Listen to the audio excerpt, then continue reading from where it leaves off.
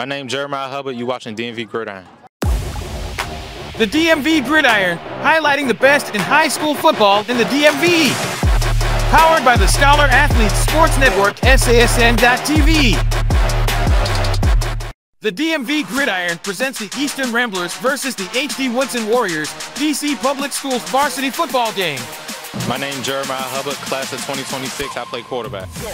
I feel like today's game went right where we wanted it to be. We had a lot of adversity coming into the first, coming out of the first half. We made the adjustments and executed throughout the game.